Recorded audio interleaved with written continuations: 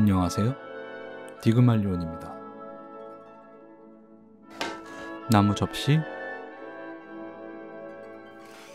그리고 마당에서 주워온 돌 하나를 준비합니다. 수고해서 들어가 봐.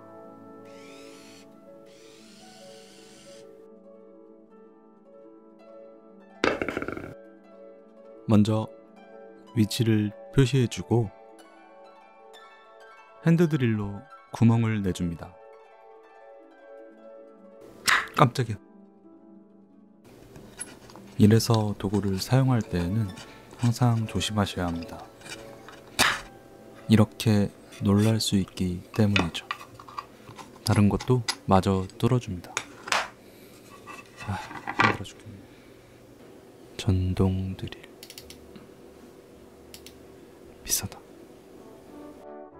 나무 접시와 돌을 철사로 연결해 줍니다.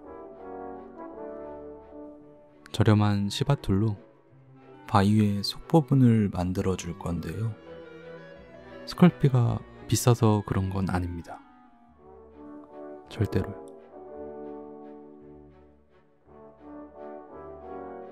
상온에 몇 시간 두면 돌처럼 단단하게 굳습니다.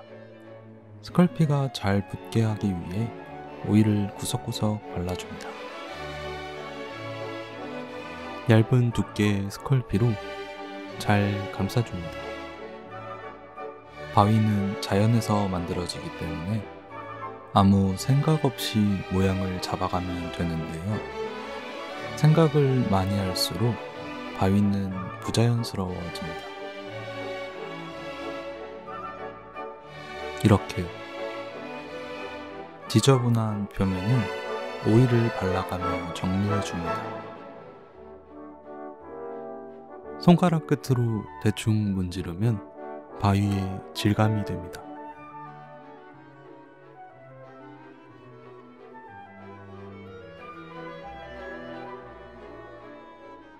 위험 있는 상군의 모습을 떠올리며 뼈대가 세워질 위치를 표시합니다. 수동 드릴로 4개의 다리 뼈대가 들어갈 구멍을 내줍니다. 빨리 전동드릴 사야지.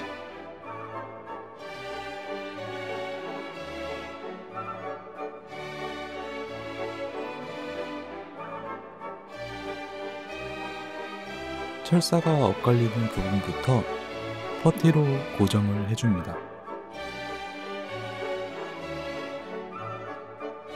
이게 뭐야?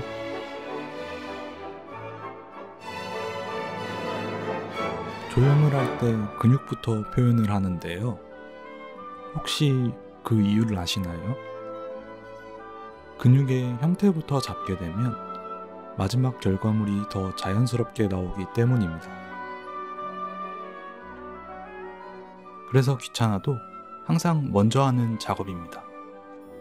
또 꼼꼼히 붙여줘야 오븐에 구웠을 때 갈라지는 현상이 없습니다.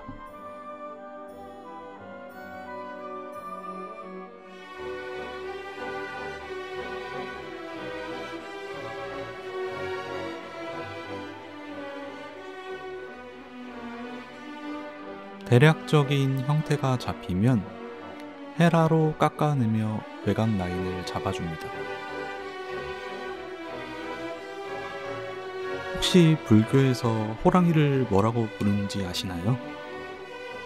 불교 용어로 호랑이는 대충이라고 합니다. 그래서 대충 깎아내시면 됩니다. 죄송합니다.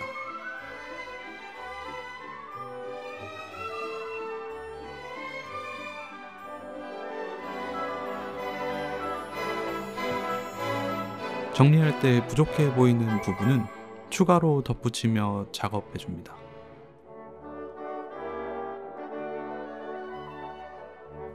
아직 반대쪽이 남았구나.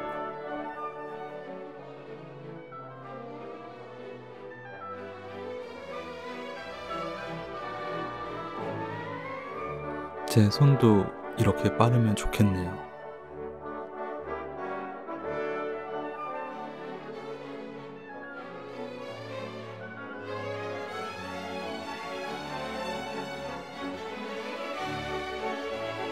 얼굴에 두 개의 구슬을 붙이면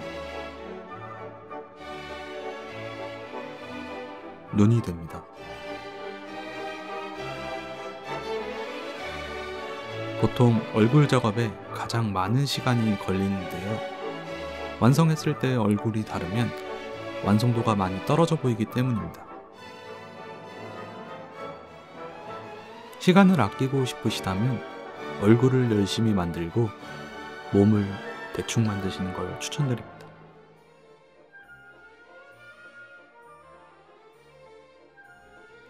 호랑이 앞발의 힘이 어느 정도일까요? 무려 4톤의 힘이라고 합니다. 평범한 성인 남성이 100kg 정도의 펀치력이라니 40명에 달하는 힘이네요. 이빨 빠진 호랑이의 위력이 어느 정도인지 아시겠죠?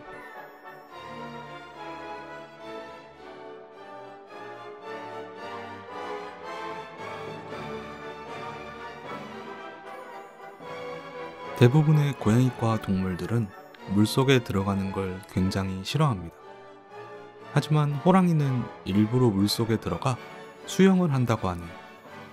사자 같은 다른 맹수들은 사냥감이 물속으로 도망칠 때 그냥 쳐다만 보고 있지만 호랑이는 끝까지 쫓아가서 사냥한다고 합니다. 심지어는 물고기도 잡아먹는다네요. 만약 여러분이 길에서 호랑이를 마주치신다면 도망가지 말고 상자를 던져주시면 됩니다. 호랑이는 상자를 좋아하는 고양이과 포유류의 특성이 있다네요. 물론 호랑이가 들어갈 수 있는 사이즈여야 합니다.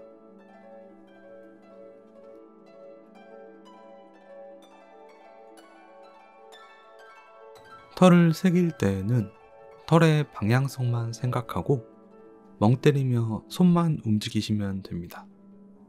그럼 완성이 됩니다.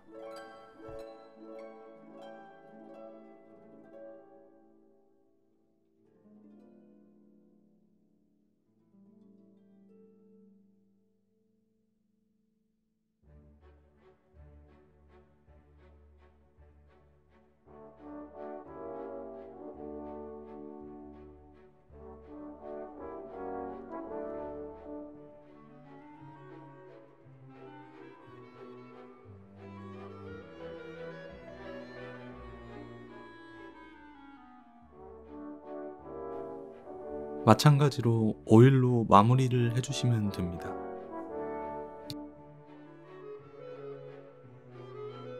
꼬리는 파손이 되기 좋은 부분이기 때문에 보다 강도가 높은 퍼티로 제작을 해줍니다. 퍼티는 자연적으로 굳는 재료이기 때문에 보통 1시간 이내로 작업을 해주어야 합니다. 얼굴에 난 갈기도 같은 이유로 퍼티로 제작을 해줍니다. 조금씩 나누어서 작업을 하는데요. 그 이유는 한 번에 작업을 하게 되면 퍼티가 굳어버려 디테일한 털을 표현하는 데 있어 작업이 힘들 수가 있기 때문입니다. 처음에는 그 사실을 몰라 남아서 굳어버린 퍼티들이 꽤 많았습니다. 많이 아깝더라고요. 귀가 들어갈 자리에도 작은 뼈대를 만들어 줍니다.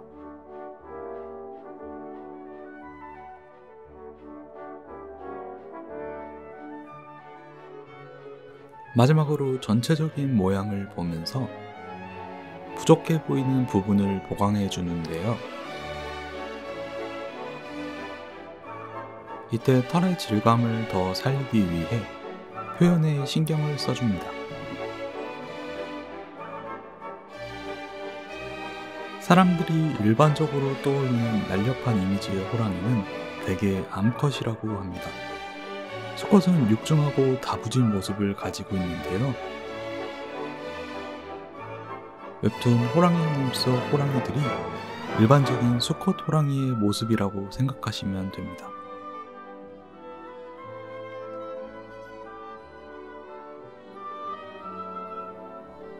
귀속 털을 표현해주면 조용히 끝납니다.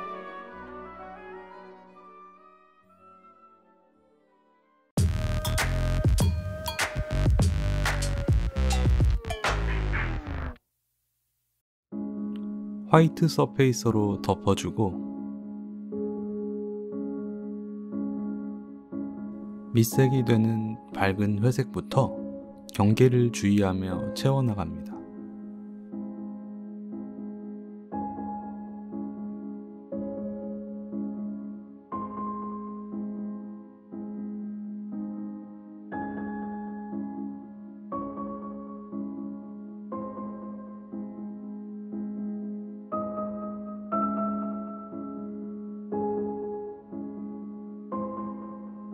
조금 더 짙은 회색으로 바위의 질감을 표현해 줍니다. 스펀지를 이용해 두드려주면 좀 더 사실적인 질감 효과를 줄 수 있습니다.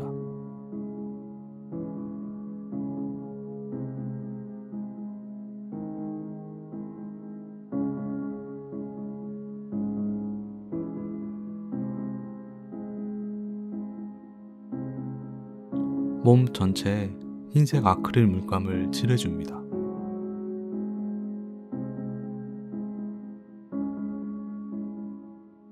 갈색과 흰색의 경계 라인부터 칠해 나갑니다. 아크릴 물감은 한 번에 칠해지지 않기 때문에 세 번 이상 덧칠을 해줘야 하는데요. 덧칠을 하기 전에는 충분한 건조가 이루어져야 합니다. 충분한 건조가 이루어지지 않은 상태에서 덧칠을 하면 기존의 색상이 벗겨지기 때문입니다.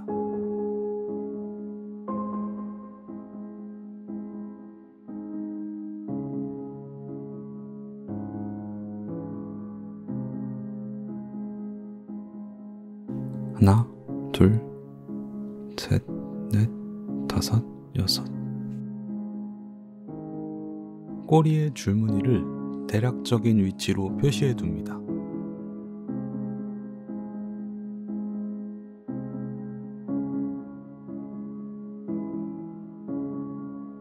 몸통도 마찬가지로 위치들을 표시해 주고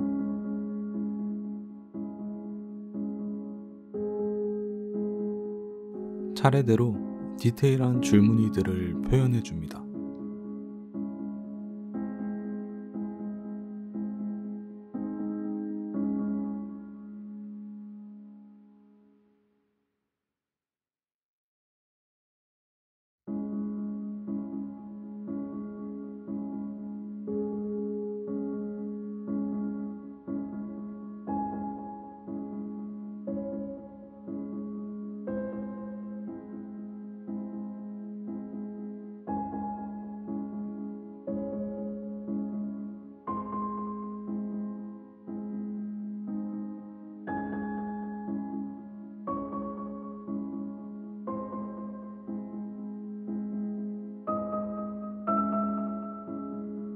이제 얼굴 무늬를 그려주는데요. 웹툰 속 이미지를 참고해 위치들을 비슷하게 맞춰 나갑니다. 그러면 조금씩 상군의 얼굴이 나타납니다. 저는 양손을 이용해서 붓을 고정해 주는데요. 이렇게 하면 미세한 표현을 할 때 흔들리지 않을 수 있어서 좋습니다.